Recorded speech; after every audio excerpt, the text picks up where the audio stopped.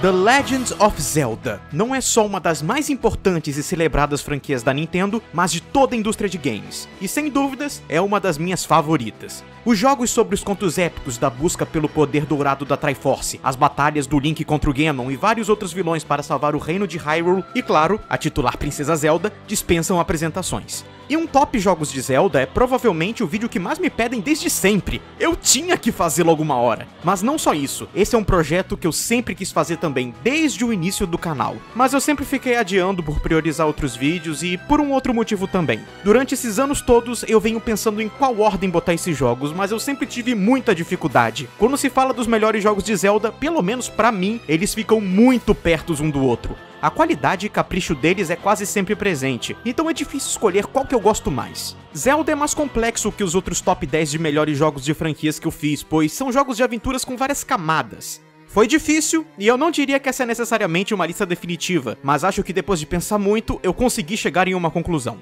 Originalmente eu ia fazer um top 15, mas como a série tem 20 jogos principais, eu percebi que ia virar mais uma lista de ranquear os jogos do que uma lista dos meus favoritos. Então, decidi fazer um top 10. Assim, eu dou ênfase apenas nos que são os meus jogos favoritos mesmo. E lembrando que a lista é exatamente isso, os meus jogos favoritos de Zelda, e não uma lista dos melhores jogos da série são apenas os jogos que eu gosto mais e tenho mais apego por qualquer motivo que seja. E a minha opinião provavelmente não vai ser igual à sua. Mas olha, para mim, todos os escolhidos merecem pelo menos uma nota 9 de 10 para cima. Por isso mesmo foi tão difícil escolher a ordem deles. Lembrando que esse vídeo foi feito em 2023 e que por causa disso nenhum jogo lançado após esse ano está na lista.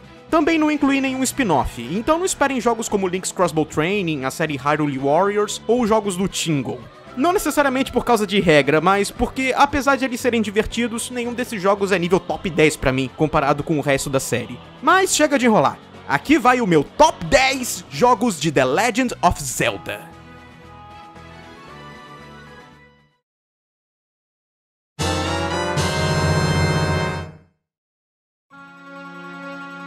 Em décimo lugar fica o clássico do Nintendo 64, The Legend of Zelda Majora's Mask. Eu sei que esse é um dos Zeldas mais populares, especialmente nos últimos anos, mas a lista tem que começar em algum lugar, né? E embora eu ame o Majora's Mask, eu acho que eu ainda amo só um pouquinho mais os outros nove colocados. Que não fique dúvida, se ele está nessa lista é porque eu acho ele fantástico. Majora's Mask é a sequência direta do Ocarina of Time, e originalmente foi desenvolvido como uma expansão pro mesmo, até virar um jogo próprio. E apesar das semelhanças, o time fez de tudo para os dois jogos serem completamente distintos. Majora's Mask é bizarro. Nesse jogo, Link vai parar no misterioso mundo de Termina, que está sob a ameaça de uma lua enorme com rosto maligno que irá cair em três dias. A atmosfera do jogo é bem mais sombria e melancólica por causa de todo esse clima de fim do mundo, contudo sendo meio distorcido e até um tanto perturbador. A história fica em segundo plano, sendo um pretexto para você ajudar essas pessoas, com ênfase nos seus diálogos e em como elas se comportam durante esse período de três dias. O foco do jogo são as suas side quests. Na verdade, eu diria que isso que faz o jogo, pois se você fizer apenas a campanha principal obrigatória, esse é o Zelda 3D mais curto de todos. E uma das coisas mais legais é justamente coletar as várias máscaras, pois mesmo sendo opcionais, boa parte delas trazem vários efeitos diferentes, com o maior destaque sendo as três máscaras obrigatórias, que transformam o Link em um Deco, um um Goron e um Zora, podendo usar os seus poderes diferentes para atingir lugares novos, resolver puzzles e lutar. As transformações do Link são bem versáteis e dão uma enorme variedade e identidade ao jogo. As dungeons também são boas, mesmo sendo apenas 4 e você tendo que completá-las com limite de tempo. O que não ajuda muito é que elas são bem complexas às vezes. Na verdade, esse é o ponto da questão. Esse jogo tem um limite de tempo. Você tem apenas 3 dias para completar as missões, que na vida real equivale a cerca de apenas uma hora. Quando esse tempo estiver acabando, você tem que tocar a ocarina para voltar para o primeiro dia e repetir o processo. Você não perde itens importantes ou upgrades, mas sempre perde itens descartáveis. Ok, você pode diminuir a velocidade do tempo usando a ocarina, e esse limite de uma hora vira quase 3, e sério, fica muito melhor assim. Mas mesmo com isso facilitando, eu ainda não sou um grande fã desse sistema. É, eu sei que isso é o que faz o jogo único, e as sidequests só são tão boas e só funcionam assim por causa dele. Mas eu sei lá, cara, Zelda é o tipo de jogo que eu gosto de jogar sem nenhuma pressão para explorar tudo com calma, e ter um relógio no meio da tela te alertando quanto tempo falta não me dá tanta vontade de revisitá-lo. Mas mesmo com essa questão que é mais pessoal minha, eu adoro tudo que esse jogo oferece. E justamente por ser um dos Zeldas mais distintos, ele é tão amado pelos fãs. Assim como o Ocarina of Time, o jogo eventualmente teve um remaster pro Nintendo 3DS com gráficos novos e outras melhorias. Existe um debate se a versão de 3DS é melhor ou pior que a original, pois apesar de ser mais bonito e melhor em vários aspectos, eles também mudaram algumas coisas pro pior. Os chefes foram todos modificados para ter um ponto fraco óbvio, e a jogabilidade do Link Deco e Zora foi nerfada com várias limitações bobas que não existiam antes. De qualquer maneira, eu ainda acho que a versão de 3DS ainda é uma forma bem válida de jogar o jogo. Independente de qual versão você escolher, Majora's Mask é sombrio, bizarro e emocionante.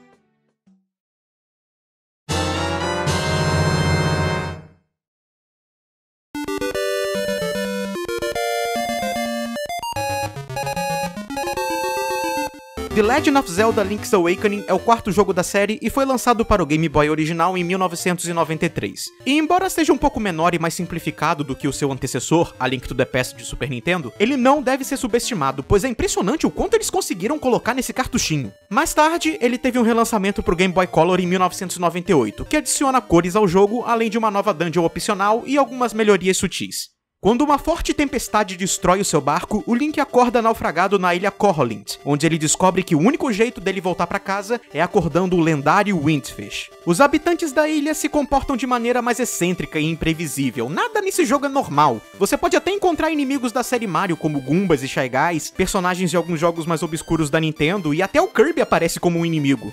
O jogo todo tem uma vibe mais surreal e brincalhona, mas sem perder o clima aventureiro da coisa. Ele se diferencia por não ser uma jornada épica para salvar o mundo de um mal supremo, mas sim uma busca bem mais pessoal, algo que vai ficando cada vez mais agridoce quando você chega no final do jogo. A aventura inteira é bem divertida, e eles terem conseguido fazer algo desse calibre no Game Boy, que é tão limitado comparado com o Super Nintendo, é algo a ser aplaudido. Claro que ele não é sem suas inconveniências. Como você só tem dois botões, 50% do jogo é você pausando a tela de menu para trocar de itens. É algo que também acontecia nos jogos anteriores, mas aqui eles conseguiram deixar muito mais irritante por ser muito mais frequente e por escolhas intrigantes como o escudo ser um item equipável. Felizmente, a maioria dos probleminhas do jogo foram consertados quando ele recebeu um remake completo feito do zero pro Nintendo Switch em 2019. O estilo gráfico de bonequinhos de plástico foi uma coisa que dividiu as pessoas em seu lançamento, mas eu achei eles bem charmosos. São uma recriação bem fiel em 3D dos sprites simples usados no jogo original. Temos bem mais botões para equipar os itens, o mapa no menu é mais detalhado, a tela scrolla mais naturalmente e tem várias pequenas melhorias que tornam essa a versão definitiva absoluta do jogo. Pra mim, Link's Awakening é uma das aventuras mais carismáticas da série, e é uma jornada que eu nunca irei esquecer.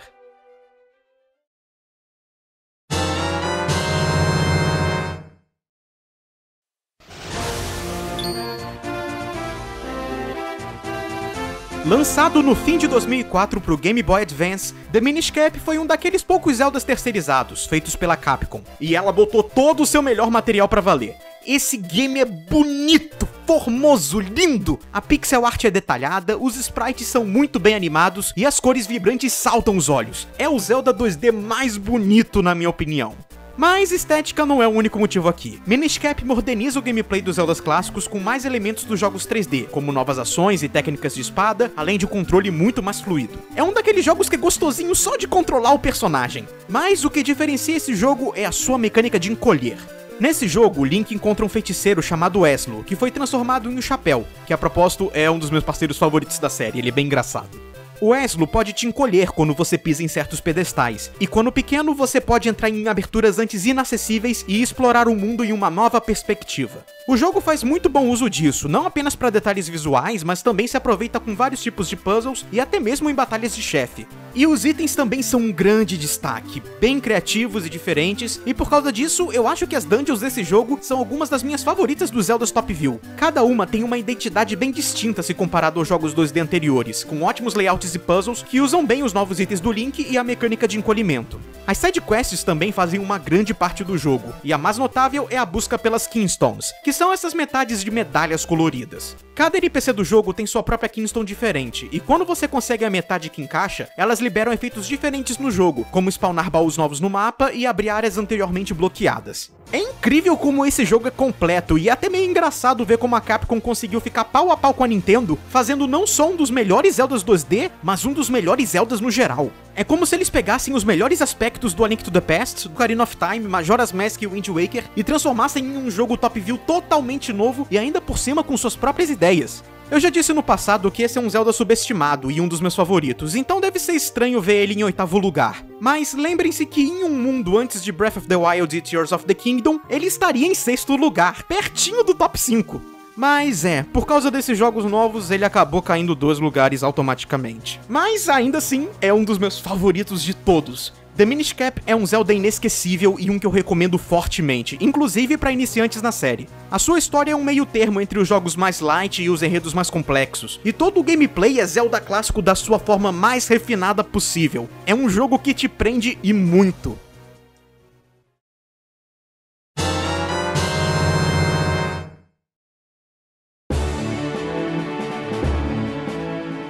The Wind Waker foi um dos jogos mais controversos da série na época do seu lançamento. Todos queriam ver o próximo Zelda do GameCube com todo o seu poder em um maior nível de fidelidade gráfica. Mas a Nintendo decidiu fazer algo impensável. Ela fez um jogo de Zelda com um art style totalmente novo cartunesco e meio infantilizado. Todo mundo odiou isso, mas quando o jogo saiu, ele foi bem avaliado pelos que lhe deram uma chance, e hoje em dia é um dos favoritos dos fãs. E merecidamente, pois ele é muito bom. Além disso, o visual estilizado, com os personagens com proporções exageradas e iluminação em cel shading, ajudaram o jogo a envelhecer bem. Mesmo 20 anos depois, ele continua muito agradável de se olhar. O gameplay é quem faz a festa aqui. Essa é a evolução natural dos jogos de Nintendo 64 e o Link é muito versátil, com um combate evoluído consideravelmente com técnicas adicionais. Seu arsenal de armas e itens é bem mais variado também, e as dungeons são maravilhosas. Mas o que diferencia o Wind Waker dos outros Zeldas é o seu mapa principal, que não é um campo vasto para explorar, e sim um enorme oceano que não parece ter fim nunca. Esse foi o Zelda com o mundo mais aberto até então, e é bem imersivo. O mar substitui o Hyrule Field, e é o jeito de você chegar em novas ilhas e cidades. Há quem ame e quem odeie o oceano, e eu fico do lado dos que... não gostam. Eu não odeio, mas eu não curto quase nada dele. A atmosfera é ótima e tem várias ilhas, tufões e coisas para encontrar no oceano. E eu entendo muito bem quem gosta de navegar nesse jogo. É um dos Zeldas com maior senso de aventura e liberdade por causa disso. Só que você gasta 50% do jogo andando de barco, se não até mais. E francamente, eu acho um saco ficar velejando. E na versão original de GameCube era ainda pior, porque você tinha que ficar mudando a direção do vento manualmente o tempo todo. Eis então que entra o porte melhorado do Wii U e conserta quase todos os problemas do jogo, além de dar um bom tapinha no visual. Alguns reclamam que a iluminação nova do porte HD quebra o estilo cel shading do jogo original, pois a intenção era justamente as cores serem todas chapadas, e agora muitas vezes os modelos do jogo têm um degradê por causa disso. Mas eu não acho que a iluminação nova tira tanto da identidade visual do original, e o jogo continua igualmente bonito, mesmo parecendo que o jogo tem 5 sóis de tão iluminado que ficou. O que realmente importa nessa versão são as melhorias de gameplay. Ele tem uma nova vela opcional pro seu barco, que faz você velejar duas vezes mais rápido e o vento muda de direção automaticamente. A quest torturosa dos pedaços da Triforce no fim do jogo foi simplificada, graças a Deus, e tem mais um monte de coisinhas que foram adicionadas ou ajustadas que deixam a experiência do jogo bem mais dinâmica. Essa é sem discussão a versão definitiva desse clássico, e é uma pena tremenda que, pelo menos até o momento desse vídeo, ele esteja preso logo no Wii U de todos os consoles. The Wind Waker pode ter seus problemas com pacing em algumas partes meio chatas. E mesmo eu não curtindo muito o oceano, a outra metade do jogo em que você tá jogando um Zelda normal em terra firme é puro ápice. As partes boas superam muito o resto. Seu visual distinto, sua gameplay polida, dungeons e itens diversos, personagens adoráveis e uma das melhores histórias da série fazem dessa uma épica aventura digna de uma das melhores da franquia.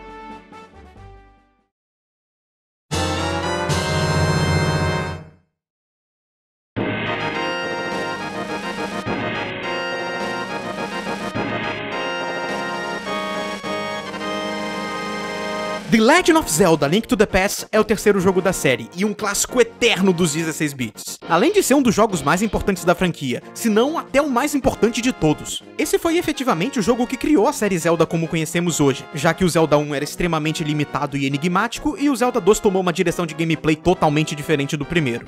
A Link to the Past retorna ao gameplay do primeiro Zelda e deixa tudo mais avançado, mais ambicioso e, felizmente, mais direto ao ponto também. Aqui temos uma história de verdade, personagens para conversar, a Master Sword, os Pinatec, dungeons temáticas, a estreia de vários itens e mecânicas consagradas como o martelo, o hookshot, as garrafas, basicamente tudo.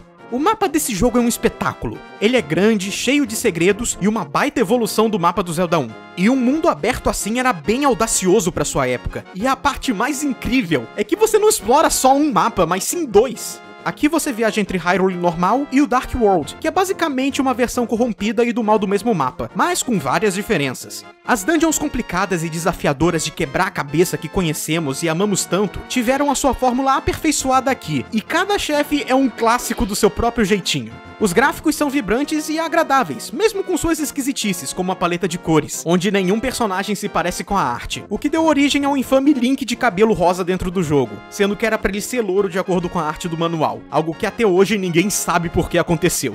A trilha sonora também tem o seu próprio legado, com excelentes melodias do Koji Kondo que marcam presença em jogos novos até nos dias de hoje.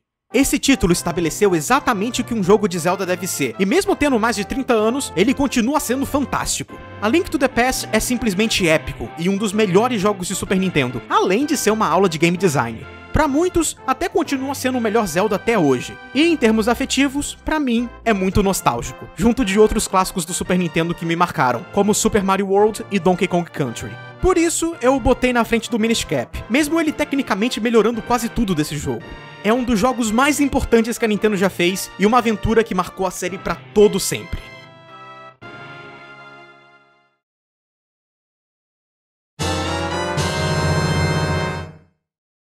Ok, eu imagino que essa é a parte que muitos vão sair do vídeo, mas eu peço, por favor, fiquem até o final, eu posso explicar. Eu sei que na minha análise do Breath of the Wild eu disse que ele talvez fosse o meu segundo Zelda favorito. Então por que eu o botei em quinto lugar? Logo esse jogo! Se me perguntassem se eu acho que o Breath of the Wild e o Tears of the Kingdom merecem ser considerados os melhores Zeldas de todos, eu diria que muito provavelmente merecem sim. Breath of the Wild quebrou paradigmas e se tornou um colosso na indústria que não dá para negar. E os anos passaram, e eu pensei, pensei e pensei até não aguentar mais pensar. E cheguei na conclusão que, mesmo eu amando incondicionalmente tudo que eu vivenciei no Breath of the Wild, com ele até ultrapassando vários Zeldas que eu sempre adorei, eu ainda tenho mais apego e carinho pelos jogos a seguir. Eu já fiz uma análise bem detalhada sobre esse jogo quando ele saiu, então não vou me estender muito aqui. Mas esse jogo é mágico. Não tem como descrevê-lo de outra forma. E com todas as vezes que ele foi adiado com tanto hype em cima dele, eu diria que ele até superou as expectativas, que já eram astronomicamente altas. Originalmente anunciado como um exclusivo de Wii U, o adiamento do jogo e o fracasso do console acabou fazendo com que ele saísse também para o Switch no mesmo dia, iniciando assim uma nova era para Nintendo. Breath of the Wild vai até o fundo das convenções da série e potencializa todo o conceito de exploração e liberdade, reimaginando a fórmula da franquia, mas sem deixar de lado a sua essência e respeitando suas origens e legado. E ele é praticamente sem limites. Tudo é possível graças às habilidades que você ganha logo no tutorial, e toda a filosofia dele é feita em volta disso. Você pode até ir pro chefe final direto se quiser, ou se conseguir, né? O sistema de batalha foi todo repensado com equipamento variado, e os shrines são maravilhosos, e exploram de forma inteligente o sistema do jogo com puzzles bem diferentes do que a gente está acostumado com os Zeldas anteriores. Apesar de ser magnífico, acho que algumas coisas dele não são tão boas quanto os jogos anteriores, como a história meio fraca que só existe em flashbacks e as Divine Beasts, que foram uma ideia legal, mas passam muito longe de qualquer dungeon dos outros jogos. Mas Breath of the Wild é bem mais sobre a experiência do que sobre a campanha principal. É sobre a exploração, a descoberta, absorver a atmosfera do mundo do jogo e, claro, se fortalecer fazendo incontáveis quests e achando equipamento bom. Ele merece todo o respeito e elogios que recebeu. Como eu disse na minha análise, é um fortíssimo candidato para o título de melhor Zelda de todos. Uma verdadeira obra-prima.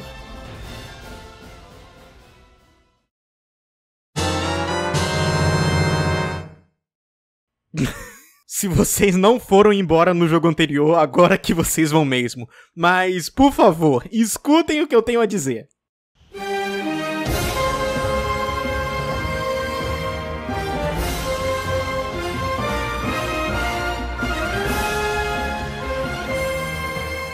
Se Breath of the Wild é um dos melhores jogos de todos os tempos, esse aqui com certeza é também e muito mais. Tears of the Kingdom é um absurdo, é ridículo, é grosseiramente inchado de conteúdo. E eu digo tudo isso no melhor sentido possível. Que jogo bom! Eu sei que muitos queriam uma análise minha desse jogo e eu dei preferência em fazer esse top 10, mas resumindo brevemente, sim, ele ganharia a nota de perfeito, pois ele consegue ser melhor ainda que o Breath of the Wild, e para ser sincero, meio que deixa ele obsoleto. Tudo que o Breath of the Wild fez, ele foi lá, pegou e fez melhor. O mapa é quase três vezes maior do que o do Breath of the Wild, e a quantidade de coisas para se fazer e descobrir praticamente triplicam também. Além do mapa do primeiro jogo, que foi modificado para se encaixar com a história e o contexto dessa continuação, agora nós também temos explorações de cavernas, exploração no subterrâneo do mapa inteiro e exploração em dezenas de ilhas flutuantes de tamanhos variados acima dos céus. E tudo é interligado de forma natural. O sentimento de descoberta nesse jogo é incomparável. E a navegação por esse mundo é completamente sem precedentes graças aos novos poderes do Link, que não apenas são melhores e mais práticos do que os do jogo anterior, mas que fazem toda a diferença. Você pode rebobinar a trajetória de objetos, pode subir praticamente qualquer teto passando por dentro das paredes, pode fundir elementos e objetos com suas armas e escudos gerando efeitos diferentes, e a habilidade que com certeza rouba o show, a Ultra Hand, te permite pegar, rotacionar e grudar objetos uns nos outros, fazendo com que você possa construir qualquer coisa, desde máquinas engenhosas a veículos para locomoção. Esse sistema de física complexa e de construção beira um insano. Ele te faz pensar de forma criativa para resolver cada situação. Aqui, o céu é o limite, literalmente. O sistema de construção é algo que vai variar da criatividade de cada um, mas se você quiser, você pode apenas fazer algo mais prático. Para mim, por exemplo, o melhor de tudo é que a chuva não é mais um problema, porque agora você pode construir veículos voadores, além de poder usar o Ascend, mas isso é só um detalhe. Dá pra notar que eles ouviram feedback e tentaram aproximar esse jogo um pouco mais de um Zelda tradicional, remediando algumas das reclamações mais persistentes do Breath of the Wild. A história do Tears é infinitamente melhor do que a do Breath, apesar de ainda não ser uma das minhas favoritas. Tenho alguns probleminhas com ela, mas é um enorme avanço e as partes boas são muito, muito boas. Eu acho que o mesmo problema vai para as dungeons, que são bem melhores que as Divine Beasts, e é maravilhoso tê-las de volta, mas novamente elas são meio fracas e não fazem nem cócegas se comparadas às dungeons dos outros Zeldas 3D. Ok, talvez uma delas chegue quase lá, mas eu não vou spoilear aqui qual. Como o jogo ainda é feito por cima do Breath of the Wild, ele inevitavelmente não tem o mesmo impacto para quem já conhece e jogou ele antes. Mas nada disso diminui o jogo, pois o foco dele é realmente a exploração do mapa e experimentação das ideias do jogador. E nisso ele é impecável. Os Shrines mesmo já valem a experiência, e olha que eles são só uma parcela do que esse jogo tem a oferecer. Talvez realmente seja o melhor Zelda de todos, como estão falando por aí. Isso só o tempo realmente dirá, mas independente disso, eu amei o Tears of the Kingdom. Ele só não está mais à frente na lista, pois os próximos jogos são mais especiais para mim.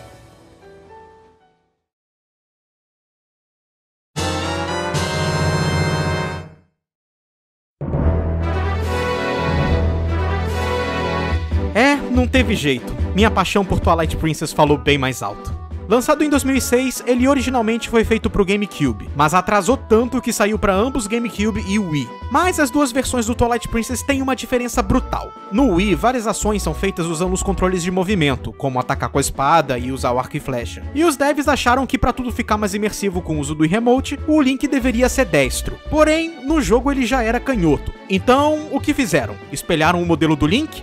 Né, eles simplesmente espelharam o jogo inteiro. O que é leste no GameCube é oeste no Wii e vice-versa. Como resultado, tiveram que reescrever os textos também e fazer todas as adaptações de acordo. Eu nunca vou entender porque eles tomaram a decisão mais complicada e não intuitiva, mas tudo bem. Essa provavelmente é a anedota mais conhecida do Twilight Princess. Na verdade, essa ia de que o jogo foi feito em resposta à recepção do Wind Waker em seu lançamento. A reação da imprensa e dos fãs ao estilo de arte mais realista quando saiu o primeiro trailer foi tão surreal de boa que o Twilight Princess instantaneamente se tornou um dos jogos mais aguardados de seu tempo. De muitas maneiras, Twilight Princess é como um Ocarina of Time em esteroides, seguindo fortemente sua fórmula, só que deixando tudo maior, mais exagerado, mais louco e bem mais dark. E olha, Ocarina of Time é ótimo, então eu não vejo isso como algo ruim, de forma alguma. Enfim, eu vou usar gameplay do porte HD do Wii U com texturas novas, pois assim como o Wind Waker HD, esse remaster do Wii U é a versão definitiva do Twilight Princess. É, pode ser loucura eu colocá-lo à frente dos novos Zeldas Open World. Reconheço que o jogo tem alguns problemas, como o início extremamente arrastado que realmente dá uma má impressão, e existem sim algumas partes mais monótonas e sem graça. Mas considerando todo o resto positivo da experiência, para mim esse é um dos melhores Zeldas 3D em múltiplas questões. Twilight Princess traz uma das histórias mais memoráveis da série, e as cenas são cinemáticas, épicas e até tocantes. Isso quando o jogo não é completamente pirado e sinistro, e esse é outro aspecto que eu aprecio muito nele. A dinâmica do Link com a Midna, a sua parceira nesse jogo, é excelente. Na verdade, a Midna meio que rouba o holofote, ela é a protagonista verdadeira desse jogo, e é algo que torna a trama bem mais interessante. A trilha sonora é linda, cheia de composições épicas que grudam na cabeça e músicas mais melancólicas também. É um ponto super forte do jogo. A mecânica nova principal do jogo é a transformação do Link em lobo, que ocorre em certas sessões. Sei que alguns detestam o Link Lobo, mas eu não tenho problemas com ele. E mesmo não sendo tão bom quanto o resto do jogo com Link humano, eu ainda gosto e acho uma divergência interessante. Mas o que brilha é justamente o resto. O sistema de combate está ainda mais polido que no Wind Waker, tem várias técnicas secretas opcionais para você aprender, você pode até lutar montado a cavalo agora. E a minha parte favorita desse jogo, os itens e as dungeons. O Link tem uma quantidade descomunal de itens e upgrades malucos. Desde uma bola de ferro com corrente, um boomerang que gera tornados, botas magnéticas, um peão gigante, só coisa doida. E eu adoro. Todas as dungeons são muito distintas tematicamente, com layouts elaborados que botam os itens novos para bom uso. Na verdade, essas talvez sejam as melhores dungeons da série inteira para mim. Elas refinaram a fórmula clássica a ponto de perfeição. É um conjunto enorme de coisas, de ideias bem implementadas, de gameplay aperfeiçoado, da estética, da história, das músicas, das dungeons, de tudo que faz eu gostar tanto do Twilight Princess. É um dos Zeldas mais tradicionais que tem, mas mesmo assim, de alguma forma bizarra, ele consegue ser um dos mais distintos ao mesmo tempo. E por tanto carinho, eu tive que botá-lo em terceiro lugar, pra mim não deu. Se você gosta de Zelda e ainda não jogou esse jogo, jogue. Ele pode não ser exatamente perfeito, mas pra mim, ele chega quase lá.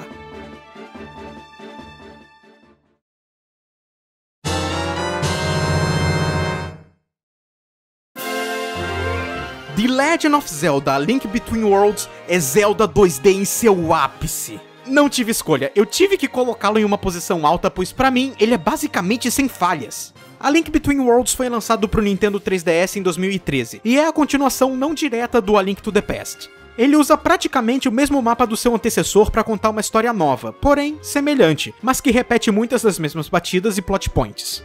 A certo ponto, diria que ele é mais uma reimaginação do jogo do que uma sequência. Ele é tipo um tributo àquele jogo. Na verdade, um tributo a tudo de Zelda de forma fundamental. Tudo foi refeito em 3D e a movimentação é a melhor que um Zelda Top View já teve. O Link controla como um sonho. Você pode organizar e equipar itens na tela de toque, o mapa é fácil de manusear e tudo é muito eficiente. O mapa, como eu disse, é basicamente o mesmo do A Link to the Past, mas tem suas pequenas modificações e algumas áreas novas. Mas não se engane, esse jogo não é um remake do A Link to the Past pro 3DS. Ele é sua própria coisa e apresenta ideias novas fantásticas, duas delas sendo as mais importantes. Primeiro é a habilidade do Link virar uma pintura para andar dentro das paredes. Além de ser um efeito visual legal, isso abre uma gama enorme de possibilidades de navegação para achar áreas secretas e resolver puzzles, além de também ser um jeito mais interessante de viajar entre os dois mundos que o primeiro jogo. As dungeons são tecnicamente novas, mas repetem as do Link to the Past em temática e em seus chefes, mas com layouts diferentes e puzzles novos, usando bem o efeito 3D do 3DS e o novo poder do Link de entrar nas paredes. E aqui vamos ao segundo ponto, e que é uma das melhores coisas do jogo para mim. Ao invés de adquirir os itens nas dungeons, eles estão todos acessíveis a qualquer momento na loja do Ravio, via um sistema de aluguel. Quando você tiver dinheiro suficiente, você pode deixar de alugar os itens e comprá-los de vez para tê-los permanentemente. Graças a esse sistema, você pode completar o jogo praticamente na ordem que quiser, sendo extremamente aberto em seu design, e isso diferencia ele demais dos outros Zeldas Top View. E se isso não bastasse, se você coletar os Maya mais escondidos, você pode dar um upgrade nos seus itens. Esse jogo tem um fator replay imenso, e eu acho que eu coloquei ele tão alto justamente porque, além de ser divertido e completo, acho que ele é o Zelda mais perfeitinho que existe. Todo Zelda tem alguma parte mais chata, alguma hora que o jogo começa a ficar mais arrastado, ou alguma dungeon que é insuportável, mas esse não. Ele é constantemente bom do início ao fim, nunca fica entediante ou repetitivo demais. Não tem nenhuma dungeon que seja fraca, história ótima, o mapa é perfeito, é um jogo infalível. Claro, ele é extremamente derivado e não é tão cinematográfico e caro quanto os jogos 3D, especialmente agora que temos o Breath You Tears. Mas eu acho que a Link Between Worlds é o Zelda mais consistente de todos os tempos. É Zelda clássico em sua forma mais pura e concentrada e do melhor jeito possível. Se alguém que não conhece a série me perguntar o que é Zelda, esse é o jogo que eu aponto. Na verdade, ele é o primeiro colocado. Quem me conhece já deve saber qual é, mas de qualquer forma, chegou o momento. Vamos ao número 1, o meu jogo favorito de Zelda de todos os tempos.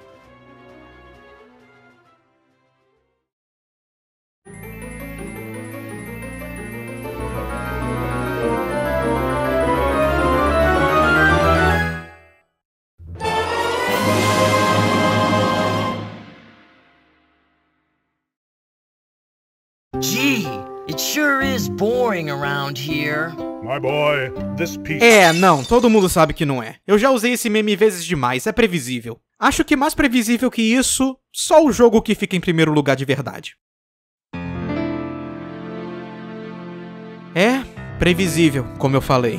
Se Ocarina of Time não apareceu na lista até agora, esse era o momento que ele ia aparecer. Mas ele é popular com todo o merecimento do mundo. É um game fabuloso. Esse é o meu jogo favorito do Nintendo 64 junto de Banjo-Kazooie, afinal. Mas não é só por nostalgia, por ter sido um dos primeiros Zeldas que eu joguei, junto do Zelda 1 e do A Link to the Past. Porque, mesmo retrospectiva, eu ainda acho que ele é um dos jogos mais bem pensados, bem designados e caprichados que a franquia já teve. Ocarina of Time é consistentemente bom, com pouquíssimos pontos baixos. Sim, tem duas dungeons que eu detesto, incluindo o Templo da Água, que é tão infame que já virou meme. O Hyrule Field do jogo é bem vazio, e jogos futuros realmente podem ter mais conteúdo geral que ele. E por ser um jogo de Nintendo 64, especialmente se analisado hoje em dia, ele é obra de seu tempo. Trocadilho. Mas eu acho que nada disso diminui a sua qualidade. Se a Link Between Worlds ficou em segundo lugar por ser praticamente sem momentos ruins, o Ocarina é quase isso para mim, só que da série 3D. Ocarina of Time também foi considerado pela crítica e público como um dos melhores jogos de todos os tempos em seu lançamento. Sendo o quinto jogo da série, e tendo que fazer a dura transição para o mundo em 3D, ele usou a progressão e game design geral do A Link to the Past, traduzindo ela para a terceira dimensão e adicionando muito, muito mais. O que você imaginava de Hyrule jogando os Zeldas anteriores, agora se tornava realidade, com tudo sendo mais imersivo e expansivo. É importante ter noção de como Ocarina foi importante para sua época, sendo um dos jogos que definiram a sua geração. Por exemplo, o sistema de target nos inimigos parece algo óbvio e simples, mas para pra pensar que isso foi uma solução na época para concentrar o combate e que isso teve que ser inventado. Por muitos detalhes assim, ele não só criou Zelda 3D, mas ajudou a estabelecer muita coisa que vemos em jogos 3D de aventura hoje em dia. A história da jornada do Herói do Tempo ficou tão consagrada que ela provavelmente é a mais conhecida da série. E apesar de simples, é bem apresentada e tem uma boa imersão que te ajuda a entrar de cabeça nesse mundo, que para sua época era simplesmente enorme. A trilha sonora é uma das mais icônicas não só da série Zelda, mas de músicas de games no geral. Cada melodia dessa aventura está implantada profundamente nos cérebros de jogadores mundo afora é um dos trabalhos mais conhecidos do Koji Kondo. Mesmo com toda a limitação do Nintendo 64, ele conseguiu fazer algo supremo e épico. Os gráficos, ok, são bem datados hoje em dia, mas na época eles eram considerados de alta ponta, junto de sua apresentação mais elaborada. Isso tudo pode ter tido um impacto grande, mas é realmente o gameplay e toda a estrutura do jogo que fizeram dele tão aclamado. Até hoje, acho que Ocarina of Time tem algumas das melhores dungeons, com as poucas exceções que falei. Como um todo, esse jogo faz tudo o que ele se propõe a fazer muito bem. Sabe, mesmo tirando toda a sua importância histórica, a verdade é que ele não é meu favorito apenas por inovação, não. É o meu favorito porque eu sou apaixonado por tudo que tem nele. Porque, mesmo sem todo esse contexto, ele continua sendo um jogo super caprichado e divertido. Quando eu penso em Zelda, eu penso nesse mundo, nesses personagens, nessas músicas, nessa história, nesse gameplay que depois foi evoluindo cada vez mais até se tornar no que é hoje. É um jogo bem variado, cheio de segredos e que te prende. É o jogo que eu recomendo junto do A Link Between Worlds para quem quer se iniciar na série. Eu recomendo demais, inclusive, o remaster que ele teve pro Nintendo 3DS em 2011. Nossa, 2011 já passou tanto tempo assim? Ah, que irônico. O remaster é exatamente o mesmo jogo do original, só que mais polido, com uma performance melhor, vários pequenos inconvenientes corrigidos, como o Water Temple melhorado, isso é importante destacar. E o mais notável, gráficos novos belíssimos, além de alguns extras como a Master Quest já inclusa. Não existe nenhum downgrade nessa versão. Ela deixa o original obsoleto e é a melhor versão oficial desse clássico. Mas no fim de tudo, isso é só minha opinião. Esses jogos ficaram nessas posições pelo carinho que eu tenho por cada um. Durante anos venho acompanhando essa série incrível, que teve seus altos e baixos, mas que normalmente consegue se manter no topo das melhores franquias de games. E esses 10 são alguns dos melhores jogos que eu já joguei na vida. O que importa é que tem Zelda para tudo que é gosto. Jogos mais sérios, mais engraçadinhos, mais fáceis, mais difíceis, mais lineares, mais abertos, e acho que isso é uma das coisas que torna a série tão interessante. Se você perguntar para múltiplos fãs de Zelda qual é o seu jogo favorito, as respostas irão variar drasticamente justamente por isso. Mas todos eles ainda são jogos de aventuras cheios de quebra-cabeças para resolver, itens para achar, dungeons para desvendar e mapas para explorar. E a cada jogo que sai, a lenda se renova, e mais uma vez nos encantamos com uma nova aventura. Espero que tenham gostado do vídeo. Eu sou o Nintendo Fan e até a próxima!